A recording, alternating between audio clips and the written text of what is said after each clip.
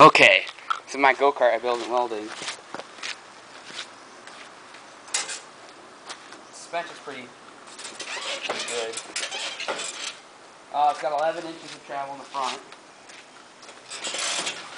I had to custom build all these arms. Everything here I built except for the shocks, corner mounts, everything.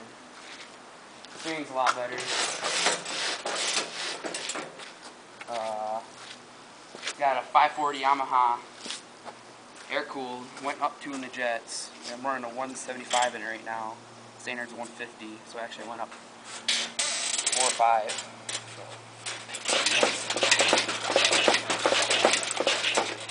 It's nice. You're going up and down the road in it. Still got to do the, the rear brake, hook all the brake lines and everything up. Uh, just adjusting the carb a little bit ago. Uh, everything running pretty good. And I built all these arms. I built the block heads. Built everything. I don't got all the nuts and bolts in it yet, but I gotta oil that. We'll It's legit. 11 inches of travel in the front and like 10 or 11 in the rear. The rear would be up a lot higher because this motor weighs like 80 pounds. Hear the fluid in the shocks working. Okay, let's start her up for you. Okay. I got my light switch all hooked up, so that's off, that's lights on. That's ignition on. See if I can start one hand.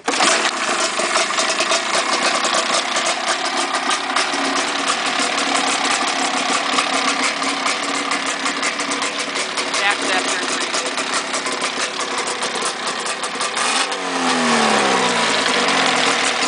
I had to custom this off, so it was sticking out way out. It was sticking out a long way. It was sticking way out here. My back's running right here, and I got a quarter inch thick plate running there. I'm not done with the roll cage yet. Still need to go clean it out a little bit more. Oh, nasty boy.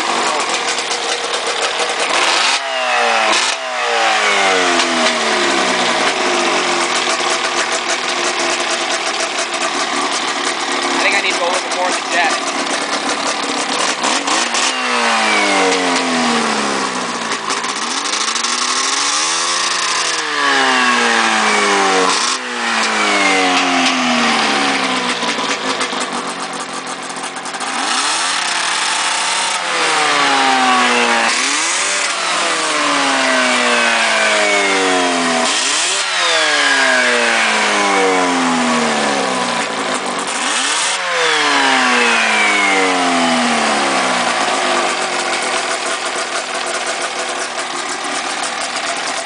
Well, when she idles though, man, whole cage is in there, it's like, ah, da, da, da, da, da, da, da.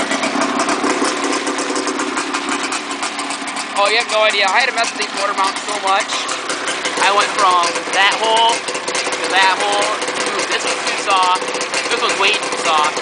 This is almost perfect. That's an ugly weld. That's terrible. I welded everything. And three quarters of my weld, like that, that was done with a broken welder. So like, I hold like that without. I got a couple nice, real nice beads on it. Welded everything. Big welder. Uh, I think we're double big. No R's. I gotta put up my fuel system up, and I'm just at a lane there now. I might do much more. I think I need to run a little bit bigger belt. I don't know.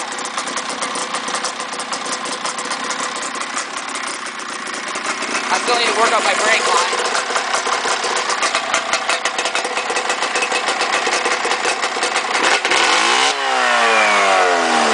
White smoke. Smells good for the Super M Maxima. I'm running premix in it. Got rid of the oil pump. I had to stick a nail in it because I couldn't find anything else that would fit there.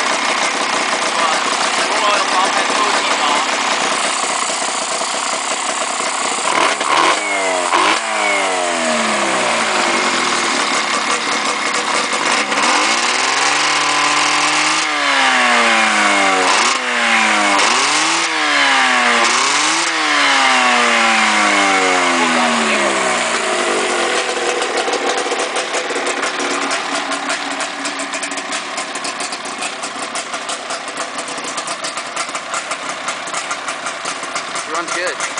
Can't how quick this gear had running. I had to take a mess springs on the pipe. Build a hole like quarter on the pipe. Actually cut it on the wrong angle. Welded the pillow box straight. That's my wrench. I don't know if I'm gonna do this. I have the chain running through here, but I don't know. I don't think that's gonna work. That brake line. Throttle cable. I gotta hook this up some way better.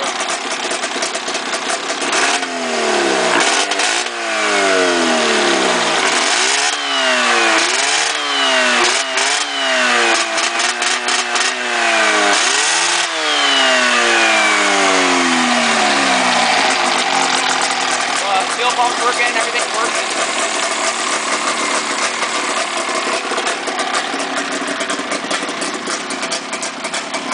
Steering is nice and good. One arm now.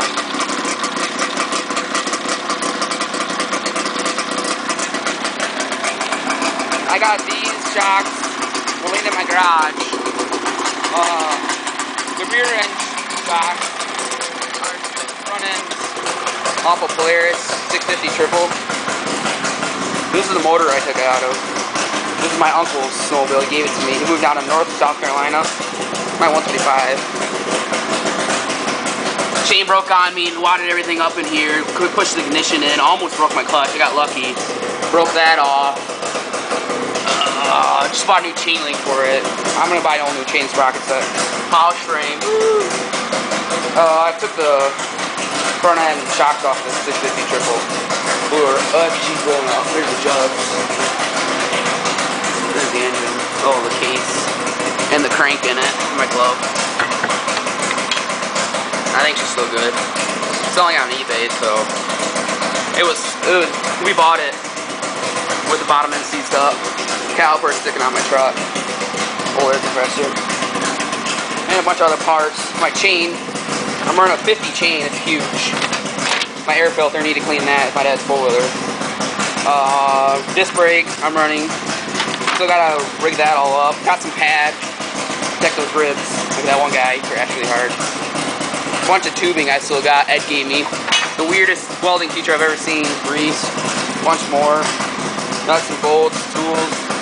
I tools everywhere. That's the way I work. But still need to fix this leak. It good. Look how good she runs for an old truck.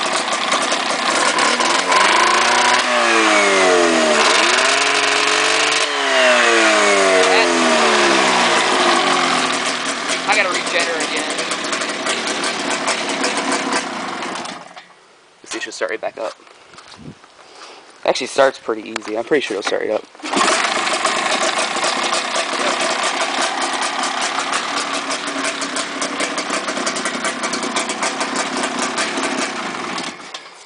Yep. Got a PSI pipe racing. I think you bought that for that, Uncle Jason. Uh, yeah, no more having to pour gas down the cylinders. You said you always had to, but I don't know. The choke things broke off inside there. I never use choke. I think it's because it's warm right. I don't need to. One thing I also noticed, I don't know if you guys know anything about this, but it seems like I'm getting exhaust coming back up and through my carb. When she's running, I can see it coming up and through. Start her back up and I'll show you when I wrap throttle. I don't know if it's just uh, motor blowing it over next to me, or if it's just coming out from in, up inside there, linking through. It's hard to see, but I don't know.